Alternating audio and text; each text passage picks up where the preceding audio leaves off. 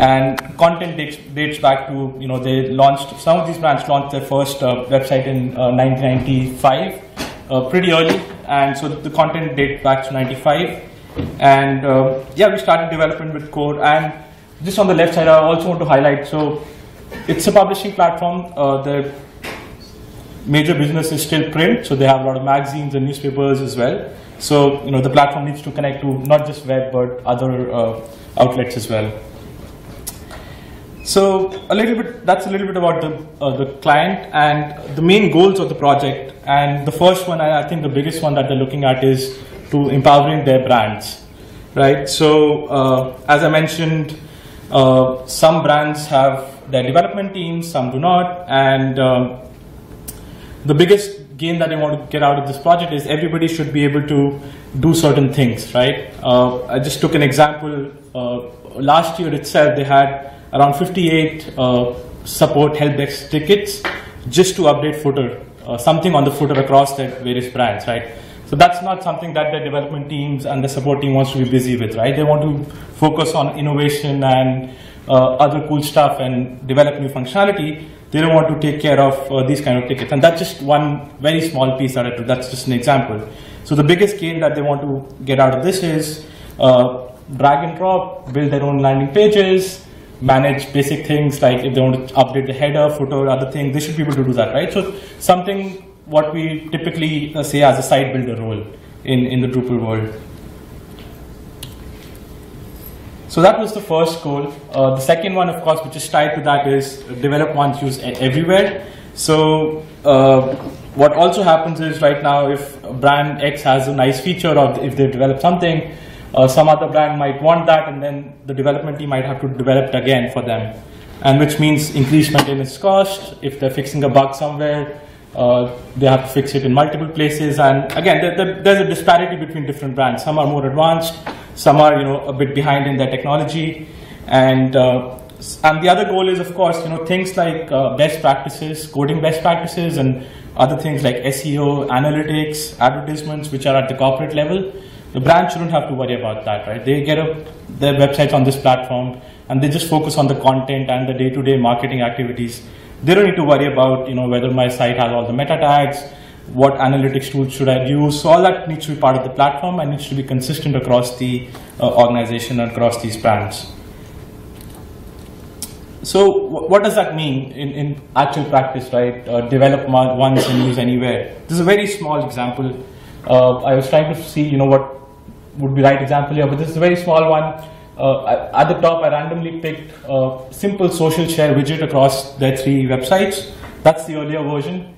And the way we proposed in the new platform was, uh, if you notice, they are still able to maintain their brand identities. They can have their own look and feel at the brand level. Uh, they can even select what social networks they want to, you know, have on their websites.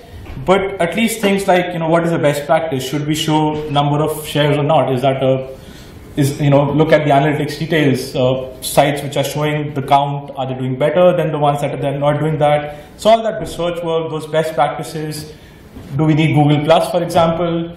All these kind of questions. Let the product team and the platform team handle it at the corporate level, and then the platform provides you the flexibility and the ability to change the theme and still maintain your unique identities, right?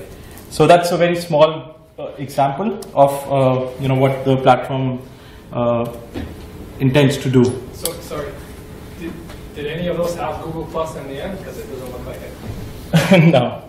So this is the, the way we are approaching, and I'm going to talk about governance at the end, right? So this is not something, uh, the platform comes with certain recommendations and you know best practices, but if a brand wants to add Google Plus, they can do it without a developer intervention. So that's going to be key, and I'm going to show how each of these components were built uh, and provided with certain configurations that you know the brands still have the ability to add Google Plus if they want to, right? So um, a little bit more about the project, right? So the discovery phase is mainly focused on defining what the core platform is because that's where we want to spend most of energies right now and uh, sort of get to a stage where we can have an 80-20 division where 80% of uh, the requirements for all the brands are met in the core platform and then uh, they can do their white labeling and 20% of their custom needs uh, happen at their individual brand sites level. Now that's an ideal goal. It's idealistic because, uh, and, it's, and the goal is to get that working for most of the brands. There's still going to be some brands which will take the core platform site and still, you know, go much beyond 20%, but that's fine. but at least most of the sites will be able to do that, and the platform would provide that capability. And uh, as part of the discovery phase, so we a second part which is important for you know the large such a large project and also for this presentation is establishing a common language, right? Because uh, a lot of people who are familiar with Drupal would know what a content type means or what a block means. And but if you're coming from a different CMS or if you use a different framework, these things would mean something else to you. And a site builder or somebody else in the organization may have a different meaning. So we sort of established a common language. I think uh, everybody in this room probably is aware of what content types is if you work with Drupal. But you know uh, components, and I'm going to show what we are calling components for the sake of this project. Uh, it, it, could mean anything, right? But we're going to talk about what component is. And then uh, a thing which derived out of the infrastructure needs of the project was we had to go with a multi-site architecture. So uh, I'm going to talk about that as well and what uh, challenges that brought to the table. And then, of course, uh, in terms of how, how do we invest time in core, how much time should we invest in, in the core platform? Uh, will the brands wait that much? How, how do they get uh, you know some sort of high level schedule? So this is what we came up with during the initial uh, discovery phase. And as you see, after spending about three to four months developing the core platform, where you see the, the black box, and the intersection between the orange and the green lines. That's what we call the, the beta, beta period. And we're actually, we've launched these sites internally to a limited audience as beta. And uh, that's where the, that 20% of that uh, site-specific uh, configuration will happen. And uh, ideally, there won't be too much development there. It's more, mainly focused on migration because, as I mentioned, the source is different. Even though the destination is the same for all the brands, the source for all of them is unique. And in that uh, beta period, that's where we uh, focus on migration, configuration at the brand level, sign off. And as you can see, uh, we have a very aggressive timeline in terms of actually launching these to uh, production. And that's mainly because uh, all the development is going to happen in core and would you know happen you know we're at the beginning of February right now and we're almost done with the core development and we've launched two sites on, on beta right now so that's the goal and that's the kind of uh, project plan we came up during the discovery phase. And uh, I think that's a good enough introduction to what the project was about, what the client is, and we can you know start uh, looking at a demo. And uh, three main themes for the demo today. Uh, you know, I've highlighted the first point because that's what uh, I would like to focus today: site building power in Drupal 8 because if we go back to the goals of the client, the, the main goal was empowering the, the brands, right, and their site builders. And this is where we've also seen a lot of tremendous growth in Drupal 8 compared to Drupal 7. And we're going to see what the differences are and what kind of modules and tools are available in Drupal 8 right now, uh, which help us achieve that goal. And the second part is an important piece with so many brands and uh, we're talking about a core platform which will have a common set of features and then we need to propagate them to all their different brands. So we're going to talk about some challenges and uh, best practices with regards to configuration management. And uh, going to also talk a little bit about uh, a framework we use called Pattern Labs to create a global style guide, which is also was one of the goals for this project to have some consistency across uh, style standards and you know style guidelines across all these brands. So, uh, yeah, before we get into the demo, some uh, key concepts with regards to site building uh, that have been listed here. And uh, some of these were available in Drupal 7 as well. Uh, if you're familiar with Drupal, uh, you might have heard of panels and blocks. but there are key differences between Drupal 7 and Drupal 8, which we're going to see just in a moment. And also, before we get into the demo, I also wanted to establish, you know, what what the site builder role means for uh, uh, this this client and the brands. Uh, so these are not developers. So you know, is how many of you are familiar with views module in Drupal? Like it's a pretty commonly used module, right? And sometimes it's you, you can have a situation where site builders can use views, right? But they're more on a technical side. But in this case, the site builder, you know, we cannot expose views to them They're not going to touch the source code. The expectation is they want to do things directly in production. They want to create, they have a breaking news. They want to spin off a new page and they want it ready in 10, 15 minutes, right? And, or half an hour. So that's the workflow that they're expecting. And that's what we're calling the site builder role here. So we're going to focus on these modules uh, when we go to the demo. And uh, as part of that site builder role and the language that I'm talking about, so their typical use case for empower empowering the brands would be they should be able to select uh, out of a layout library what layout they want to. So I'm talking about a use case where they're spinning off a new page, which is the most common use case for which right now some of them have to rely on developers, which is I want to create a new page, I have the content ready, they want to select a layout, they want to select a component. So component is a term that we established for this project and uh, which is essentially anything that you can put on a page, right? Uh, it could be a block, it could be a simple widget, and we're going to see some examples of it. And then they can, you know, using the combination of a layout and different components from the component library, uh, they can create different versions of their pages and do different configurations. So our component library right now is, is sitting, we're anticipating about 100 comp custom components that we, we are building into code, which should you know meet uh, the needs of these brands. And uh, these are you know four examples of components. So as I mentioned, a component could be uh, a simple widget which shows one story with some metadata. It could be uh, a component, component could be a combination of uh, you know five stories which you pick and you place it somewhere on the page. It could be a standalone uh, promo box that we're calling where you can pull in four stories. It could be a, a widget that they want to place somewhere uh, and you know put some social links out there. So let's uh, look into the demo right now. So I'm just going to switch over and we're going to get into this site building demo. Let's see if the screen is big enough to show two, that, two of them side by side.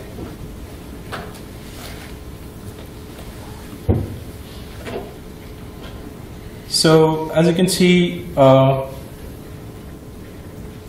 these are two, two home pages that you get. Like I've placed some components on the home page.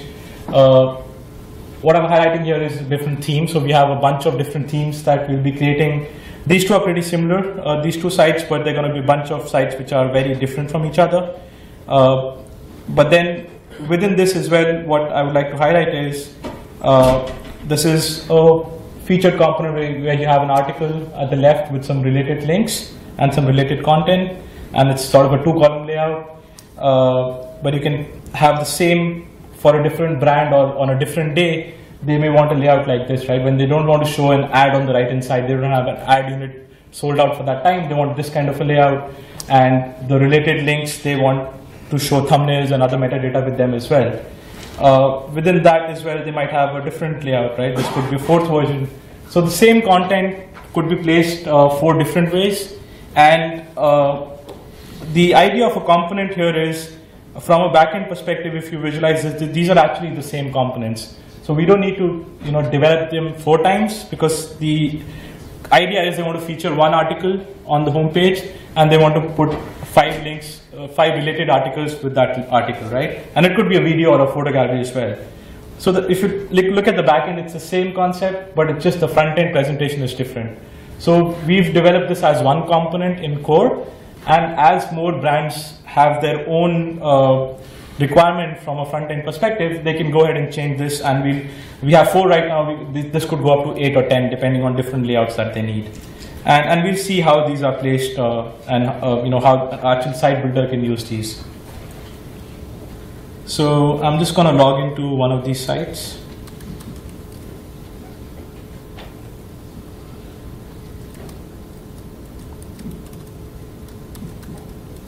So before we get into components and you know some of the more uh, complex piece, uh, even basic things like you know as I mentioned, uh, there were some concerns regarding uh, basic management of day-to-day -day tasks. So that's something Drupal provides really well out of the box, right? So you have these contextual links you can provide to each of the components, and the brand admins can easily go ahead and you know uh, very easily with one click access a certain area of the website, and depending on the role, change the content. So even this in itself, which comes out of the box with Drupal, was a big win for them, uh, migrating from some of the other uh, CMSs. And uh, similarly, you know, things like they want to add a new menu item, they want to uh, control what goes here, uh, all that can be very easily extended in Drupal 8. So in Drupal 8, you can easily extend the menu item and add fields just like a content type or any other entity, right? So you can add custom fields. So we added these custom fields to the menu item. Uh, you can, you know, drag and drop, you can change the order, uh, and you can change what story goes in there. You can search for a ticket story. Uh, you can also put stories there by a taxonomy. So we kind of created these two custom fields on the menu item module. And if I refresh here, uh, the order would have changed uh, between these, these stories. So even these basic things are, are a big win. And uh, let's jump into the use case that I showed earlier, which is uh, how are the brand, brands empowered to create a new page using uh, some of the site building modules that are available in Drupal 8. So we've uh, created a new content type where they can which is just like a landing page. So just like they're creating an article or a photo gallery, they want to create new landing pages or they want to create a new home page uh, and change the home page layout. So the first step is the layouts, as I mentioned. So uh, we have a bunch of you know one column, two column, three column layouts, and this list is, will keep on growing that are available to them. And I'm just going to pick this one, and depending on the layout that you select, you get certain regions on your page. And this is something that was available in Drupal 7 as well. Uh, but with Drupal 8, uh, with the layout discovery module, which is part of core, it has made much easier for modules like panelizers and display suites to you know uh, register new layouts on your system. It's very easy. Uh, you don't need CTools like you did in Drupal 7, so it's much more easier to create these layouts on your own and have your module uh, register them to the system. So this is something that's coming from the layout discovery module in Drupal 8. And the next thing I would like to highlight uh, with respect to site building capabilities in Drupal 8 is, and the biggest gain that we've seen is uh, blocks are entities now in Drupal 8. So what that means is you can add, you can create custom block types, just like you can create a content type in Drupal 7, add different fields to your block types, and that's what we're essentially calling a components. So 80, 90% of our components in our component library that we've built have been, are actually blocks, but they have different kind of configurations and uh, fields on them. So what you can do is, if I have to create the same page uh, like I had, uh, I'm not going to create a new component right now, that's going to come later in the demo, but uh, I've already created one of those uh, featured components that I showed. And you can see uh, they get some basic configuration. So uh, let's, these are the four versions of that featured component that I showed at the beginning. So let's go with the first one, which is the default one. And uh, there's a bit of training required that which component fits well into which region. And that's, that's a big part of this project, but uh, I know this one probably fits well in the eight column. And you can change this as well with this uh, module. Uh, you can add this, you can even drag and drop uh, this to a different region if you know if you feel it's not looking nice in this one and you can save this and that's the first component that I've been able to add to my page. Uh, if I click edit again, uh, I can see what option. So if I change the view mode, I get the second one, which is the second layout. And for the same content, I'm, I, am not changing the content right now, and we're going to look at that as well. And then if I need to see the third one, uh, I can put it here and hit save. And after a bit of training, you know, I, I know that this is not meant for this region. I can, you know, put it at, and drop it in the top section because I know it needs to be full width. So, you know, this is the expected behavior and this is how this, this particular view mode should be used for this component. So that's all part of training. And so this is just how you can, for one component, if, if you think it's the same backend functionality, you just create one, create different front-end layouts, and the configuration and the custom, the block entity I was talking about in Drupal 8 uh, is this. So each of these components can have their different set of fields. So this particular component, uh, we wanted a featured entity reference field, so you can pull in any video, article, photo gallery here, which takes the bigger, larger treatment, and then you can say what are the uh, related articles and you can change the order for them. So I don't know if I have the right images for this, but I'm just going to pick one of these randomly. So you can see the, the, the article change, right? So you can change the order, you can pull in more uh, content in here. And so that's how you can pull in one, one of these components and it's very simple to even uh, start building your page, right? So uh, out of the component library that we have, uh, there are a few others I can add. So that is a feature. If you want to pull in, uh, there's another component which has uh, a different layout. So you can see this is a listing of articles in a single column layout and which comes with a load more button. And if I check out the configuration for this one, uh, it, it has a different set of fields, right? It's actually, in this case, uh, we have a taxonomy entity reference field, right? So you're pulling in articles based on a taxonomy term. And that's why you have the load more. So it's going to show as many uh, stories that you have tagged with this taxonomy term. So you can see, and you can divide your components into different categories at the bottom. So you know it's easier for them to find which component they should be using on a page and what what they do. And as I said, you know we're looking to build close to 100 article, 100 of these components in, in within their core platform. So that's the one part, and uh, since a lot of you are familiar with views, right? So the the goal of this component and uh, entity blocks is to provide some of those functionality to site builders. I mean, how do we how do we enable site builders to say, I want a list of stories from 2005 2015, which are tagged with these taxonomy terms, exclude this story, all the things that you can do with views, right? As a developer, but how do they do that and how do we give a simpler version to them? So, uh, as an example, if uh, one of these components that we have, and this is how you create a new instance of a component, and one of the versions I have here is, which does slightly that, right? So if you see, uh, in this one actually I can say which content types I want, right? So I can say, get me all the photo galleries, get me all the videos. I'm going to select these two content types and get me these two content types tagged with this taxonomy term. So just like content, uh, just like you have your content types, you can create, uh, so you can see it has been added at the bottom and it is now been, uh, yeah, this is the one demo component that I just created. You can see it is giving me photo galleries and uh, videos and, and, no articles because that's how I configure it. What I can also do, and this is all, uh, so they also wanted to control, uh, sometimes they want to pin a story, right? These are by taxonomy, but they want to pin a certain story at the top, which may not be part of this taxonomy or which was, which was published like a week back, but they want to feature it uh, on, on the first. So I can override and I can provide uh, a different story for the top section, right? So you can see this, all these configurations, uh, all the components can have different set of fields and you can provide these configurations there. So that's the, the, the main difference, uh, the block types uh, as entities that we have in Drupal 8, which allow us to do this. And uh, yeah, and we'll come back to this demo for a couple of other things. So I'm just going to switch back to the presentation.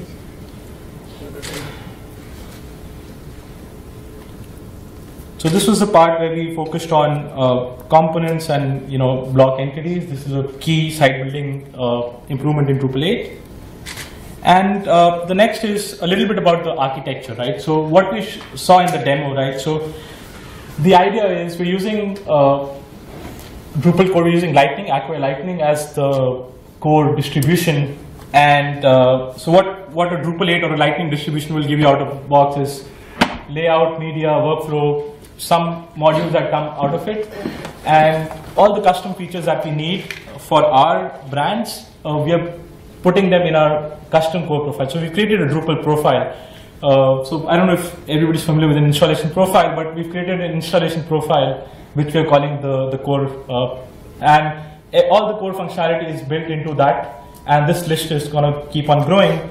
And when you install a new website using this custom profile, uh, you get some features out of the box. SEO, analytics, basic header, footer, meta tags, best practices, all that you get out of the box. So brand one and brand two is going to get that, and that's their starting point. And after that, we you know we give them training, and what they can do is uh, of course, for the theming, there will be development required. So that's the 20% uh, that goes on top of core, which is mainly theming and migration, I would say. So that's what they'll apply on top of it, theme one and theme two. But then they can also say, you know, brand one is has enabled just three features, brand two is using more features, and even within those features, they can have different variations. So they can, from there on, they sort of maintain their own uh, websites and uh, maintain their own web properties. And a little more about the architecture. So as I mentioned, uh, we have a pretty interesting situation where we have uh, a multi-site architecture. So few sites will be running on multi-site. So you can say that you know on one instance we have five websites running under a multi-site architecture, but we also have a use case where one of the brands would want a standalone installation. So our installation profile is going to be used in a multi-site architecture as well as a standalone architecture. And uh, another amazing thing that's happened in Drupal 8 is, you know, of course, configuration management, right? So you can export your uh, configuration in Drupal 8 uh, out of the box, and that is a big plus. I, you know, I I worked a lot with Drupal 7 and with the features module. It's a great module, uh, but to do something like this, where you have a platform and uh, you need to maintain your configuration across core and then 15 other sites, it, it's going to be a nightmare in using features, right? Because you're not able to track it. There's a lot of manual work needed there. Uh, with configuration management in Drupal 8 and everything in your source code, you can, you know, uh, pretty easily set up something like this on your system. So what happens is uh, everything that uh, we saw on the left, right, that goes into our core platform, and uh, we get that uh, core configuration exported for each brand, and that's their starting point. And then from there on, the brands can also make their changes. So uh, if, if I give you an example, we have a basic article content type defined in our core uh, profile, which has say 20 fields, which we feel everybody needs. But a brand may say that, you know, I need five more fields, but this, I don't need this field, I want to change the label of this field. They have that complete freedom and they don't have to go back to the platform team. They can do it at their level. At the brand level, they do a Drush uh, core uh, configuration export. They get the uh, core configuration, but after that they can make updates. And then they can do their export and import at the brand level. They don't have to worry about uh, core and they're not going to mess up with everybody else's configuration. This is just for that brand. So every brand still has the freedom of uh, building on top of the platform or changing things that are coming in from core. And of course, we have the use case where while the branch will be doing this, the core platform will also be releasing new features, security patches and other things. So they, the core team can push everything out to each of these individual sites as well. So just extending a little bit, you know, a little bit about our, uh, how our source code is structured right now. So uh, on the left, you see that that's where our uh, core installation profile is. And we have everything that uh, every site will get on installation goes under the install folder and everything that's going to be optional. So they're going to be uh, not all features will be enabled for every site, right? We want to give them the ability when they're installing a new site, they can choose what features they want. Uh, so that goes under optional. And once they do that, uh, then you know that's where you have every brand maintaining their own individual brand configuration site and uh, the use case that I talked about in the previous slide. So yeah, that's pretty much on the architecture side of things. And uh, last piece on the architecture front is uh, I want to talk about uh, another goal, as I mentioned, of the organization was to have some sort of standards across. So they have a corporate design team which wants to, you know, standardize, you know, how a button should look like and things like that. And not just from a, a look and feel perspective, but from accessibility perspective, right? If there are best practices from accessibility perspective, every button should have this link, you know, these meta tags and things like that. That's all should be applied across all the websites. So we are maintaining a global style guide using Pattern Labs, which is basically it applies, you know, using atomic design principles. You can uh, create your component library. So all the components that I showed in that site builder tool and all the uh, block types, we actually developed them first in Pattern Labs, just the front end, and they're available there as well. So it also serves as a great uh, documentation source for uh, you know the client. They don't have to I mean, if you're building 50 components, how does a brand know that, you know, what are the components that are available to them and what are the different combinations they can do? So all that can be easily maintained in Pattern Labs. And uh, the biggest advantage of uh, using Pattern Labs for us is also uh, our front-end developers can work independently of back-end developers. So you can actually have uh, front-end developers build the entire front-end even without any content type or anything being defined in Drupal. And then we're able to, you know, uh, they're not dependent on the back-end developers. They can do their CSS, HTML, JavaScript, and then we can uh, combine them together. Uh, again, this is something which Drupal 8 you can do because the Twig uh, templating engine, and you know you'll have to work really hard to get this implemented in Drupal 7. And I think I have, I can quickly show you, uh, we have, I don't think I have the complete Pattern Labs library here, but this is their website. You can see, this is just a demo. You can have something like this for your uh, project, and you can see all these components defined here, and uh, you can also grab uh,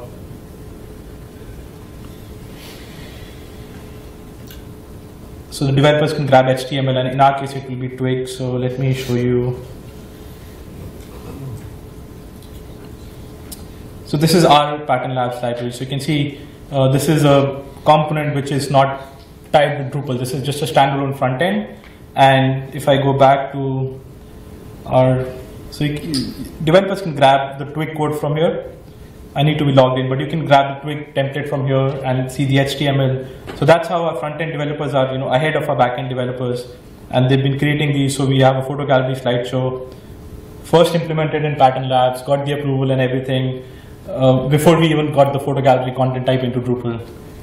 And so, you know, basically every, all the components that we'll be building, they, they will be available in, in Pattern Labs as well. So that's something that's being used on the footer. So that's uh, it, it, helps and it also helps to act as a documentation as I mentioned earlier.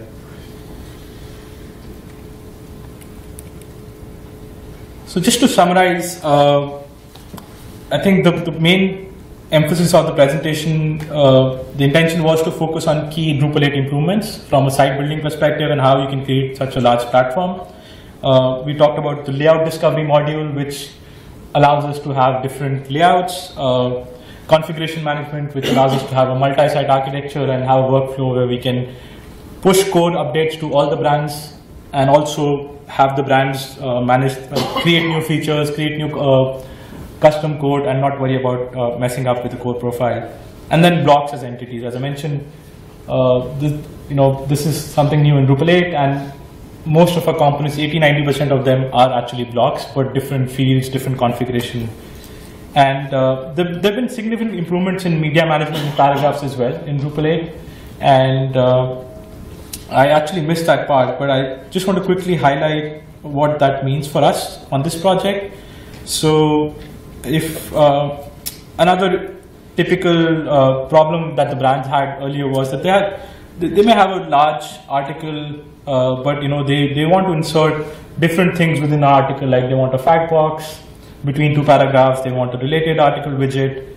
So this is again part of a component library, right? So uh, related would be available in our component library. It could be a video, photo gallery, any content type.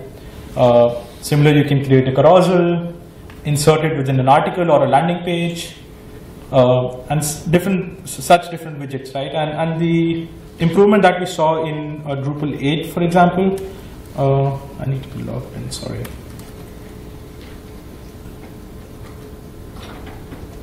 I mean, just the, the way paragraph module works in Drupal 8, I think it's uh, much more efficient and they made certain improvements. So one, you know, we we're able to quickly get contextual links on each of these paragraph types, right? So I can go ahead and edit this article, but if I want to quickly edit this this particular uh, component, I get a direct edit link, and this is a very simple one where you have a title and a entity reference field. Uh, or you can, of course, go to the edit page for the entire node and see everything there. And uh, I think the way paragraphs work in Drupal 8, we're able to keep them pretty lightweight. So we, we're building on this uh, article component library as well, which are essentially paragraph types. So you can have a video gallery, sorry, a photo gallery, video, image, uh, different widgets available to them, which they can put inline within an article. So that's a pretty, uh, I think, improvement in Drupal 8 as well, the way paragraph module works, and you're able to create these uh,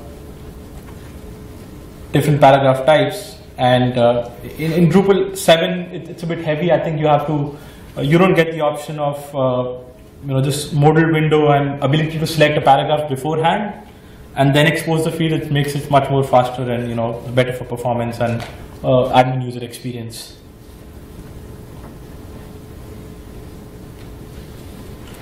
And then uh, the last two points, as you've seen, right, this is a lot to handle. Like we have multiple stakeholders, we're building functionality in core. So a very strong governance model needs to be in place. So we have to be very careful about uh, different use cases. Uh, the use cases when you need to push code out to all the brands. There are use cases where you need to push code out, out to a specific brand, and the brands might be doing their own thing as well. So that's where you know uh, the, you need to have a strong uh, continuous integration framework in place uh, to manage all of these different use cases. And then, of course, uh, for QA, you know, we'd recommend using Behat. Uh, you know, we've used that extensively on this project uh, to, you know, test, create automated test cases for these components and putting them on these layouts to make sure nothing breaks. so we have some automated test cases for that. Yep, so that's it. Um, any questions? How do you, how do you sort of paragraph in in moving their text, what approach do you use? Sorry, so the question is how do we apply paragraphs in between text? Yes. Okay. you have paragraphs all in one place, right? The you. How do, do content editors are actually able to control their paragraph, like that additional info that you have shown us in the web box? Can they control where exactly on the pages it appears? So you mean from the front end, like drag and drop from the front end, or they can they, they can do it from the back end. So the way it works right now is, uh, if I edit this, so these this is how the article is structured right now. Right. So the related media, if I want to push it to the bottom, I can drag and drop and put it at the bottom. Oh, so you have body paragraph, okay. Yes, we have a body paragraph, yeah. That's a paragraph two, body is a paragraph two. Any other questions? Pretty quiet. Yeah, this is a, a pretty slick, uh, you know, implementation for presentation and slotting of content, but uh, Crain's has significant workflow, editorial workflow requirements, number one. And number two, they also have uh, print publications as well, weeklies and so forth. So it's really two questions. How do you address workflow on the Drupal side, specifically pertaining to the flow the content and so forth uh, through to uh, publication. And then the second question is how do you address content that's being prepped on the print side or that's digital first that's going to print? So that's a different system for them. Uh, so Drupal is not the source for all, all of that content. So the system, the articles are actually entered into a different uh, solution that they've been using, uh, Content Station, which caters to their print side of things. thing. Yes. So we get the basic uh, text and basic article metadata from there. But things like uh, the workflow on the Drupal side is basically adding a photo gallery or web specific things which they want to add. So adding a photo gallery or a video at the top of the article. It's mainly editing the article. So and it could also be like you, you have a breaking news or something, you cannot wait for printing, you have to put directly something in Drupal. So they have that capability. It's more transactional, that there's not a workflow where uh, in the Drupal side where it's set to a top editor to, to do reviews, it's a transactional. We have that, so that that's the workflow module that's part of Lightning out of the box. So we've implemented that and different brands are going to use it in different ways. Some, some want to put a workflow in place, some do not. So that's something that they configure when they install a new site uh, using the platform. And did you basically kill, uh, create like a distribution on this similar to like Thunder? Like, did you did you think about starting with Thunder or something? We did. So uh, yeah, that's something I should have mentioned in Discovery. So we did a that was the main thing in Discovery as well. So we were, we looked at Thunder as well and Lightning, and we had a whole uh, discovery around you know which would be a better use case. So we did a couple of POCs, and we've actually borrowed a lot of ideas from Thunder. So the whole paragraph management is something that we borrowed from Thunder. So they, they have this very neat implementation where they don't, they use paragraphs for all their article content and inline components. So we've taken a lot of inspiration from Thunder. The reason we did not go for, with Thunder was because uh, the, we, we wanted something lightweight to begin with. And uh, if, if the, since the brands want a lot of customization, uh, it's, it's good to use Thunder if you don't want to customize it too much, right? Uh, so that's why we went with Lightning because it's it's much lighter and it's it's just Drupal 8 plus, right? So final question is, is this is a private role for Crain's. This isn't, you didn't do any contrib in terms of modules or distribution, so they're going to be dependent upon this profile uh, for themselves, or is there something you guys contributed out to the community? So, I mean, we, we have. So, I mean, as part of the project, we've contributed, I think, we ported the uh, analytics, the SiteCatalyst module to Drupal 8. So, the, of course, when we started, a lot of modules that were not available. So, the SiteCatalyst module we ported to Drupal 8 and we released it to the community. And there are a bunch of other patches that we've been uh, adding. We've added a patch for BLT. And uh, so, yeah, I mean, contribution is part of the uh, project for sure. A couple of modules that we ported. Uh, but in terms of the distribution, yeah, this is specific, but uh, we are still using contrib modules. So the you know there's a lot of there's a lot less custom module that we built. So mostly what's going into profiles is just contrib modules, but we're handpicking what modules they need, and then the the block entities that I mentioned, that's more like a content type, right, that you're defining. So that's where the custom work has been mainly. Sorry, go ahead. So, having worked on other institutional sites like this, one of the biggest problems we've had that I've encountered in the past is uh, each brand's creative team wants a totally different look and feel, and as a result, they're not easily adapting component design. And when they take the components you've already got in place, they want to reorganize, and before you know it, they've introduced new data components to each component. How do you handle that for keeping it consistent across all the things whenever you have an update to a component? Like they want a new field that's displayed separately, um, you know, uniquely from what was already there. Right. So that's where you know the governance process comes into picture. Like we have a very strong governance process, and it, it needs, needs to be there. Otherwise, the platform would just uh, implode. Right. It, it won't remain a platform after a while. Right. If everybody, so there's definitely that. So the, way we're handling it here is that you know everything, every such requirement has to go through a lot of uh, grooming, and you know we need to discuss why is this something that's cannot be part of code? Is there something that's already available? So that's where, you know, most of the times we're able to provide like a different configuration or different version of something that they're and trying to reach that middle ground. But as I mentioned in the beginning, so this will apply to most brands. There will be some outliers still who would want to customize their own thing. But still, at least from a backend perspective, a lot of things from the platform they will be able to use. So the starting point is pretty lightweight. Uh, we are not building a core theme. It's you know the expectation is that every brand will be building on top of it. So they have the flexibility in terms of the UI and uh, you know changing things around. And then the follow-up to that is uh, sometimes you've seen where the parent brand wants to add content and distribute it across all the, the children brands. Do you have anything in place in your platform for that so that you can centralize that content entry and not have to have it duplicated? Yeah, across? that's that's not a use case for Crain, so we don't have that. Uh, we've certainly discussed that, and there are different models to do, do that. Uh, but content distribution or content sharing is not uh, part of uh, you know their need as of now.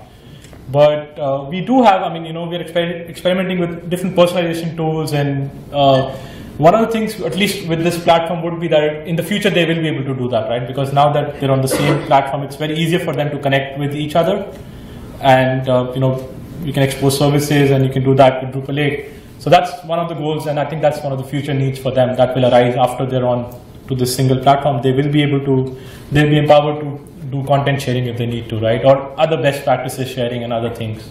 So that's one of the goals. So you mentioned that your uh, workflow for configuration is just using a drush config export.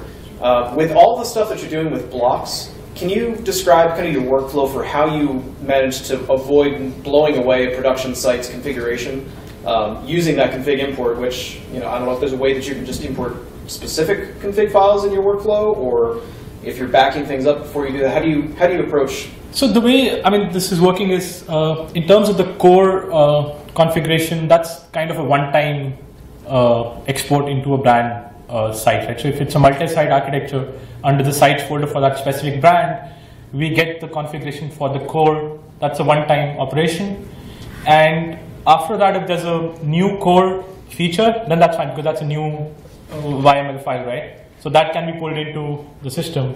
But when it comes to updating an existing configuration that was created in core, we have a custom hook up, we write hook updates and we have an update module in core, right? That's a very specific uh, use case that the release manager has to take care of that make sure that we are pushing updates via uh, hook updates.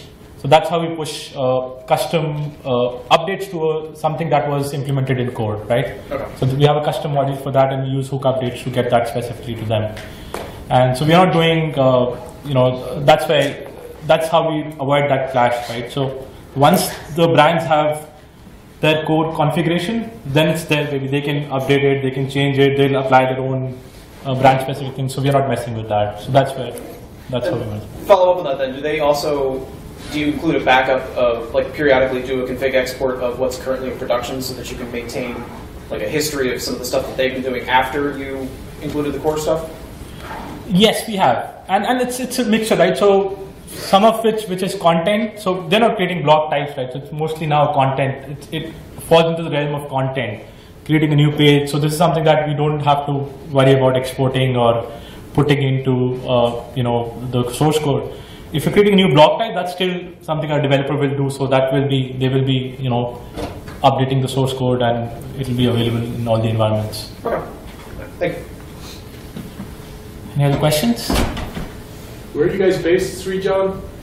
Uh, we are headquartered in India, in New Delhi, uh, but we have uh, global presence. So we have uh, three offices in India. We have an office in Japan, Australia, and I'm based out of New Jersey. So we have a small office here as well. So pretty much uh, spread across. Other questions? Yes, yes, please. I'd like to get a sense of what the size team that you have that's working on this project. it's, it's a pretty uh, large team for us. I think it's one of our bigger implementations. So uh, I would say about we have 15 to 18 developers on this platform, but you know that's been like the peak. Uh, so there've been people coming in, coming out. So we started with a small team, like three, four developers, and the core build out is still, I would say, four, four to five people. And uh, then we have, because of the rollout schedule that we have and the governance issues, as you mentioned, like it's it's, important to maintain, and th- these are going to go in production. So there are different brand teams that we're putting in, which are mainly focused on training and site building for that specific brand, and then migration, right? So the core team is four to five people, and then uh, we have like few people dedicated to uh, different brands, right? But overall, 15 to 18 people.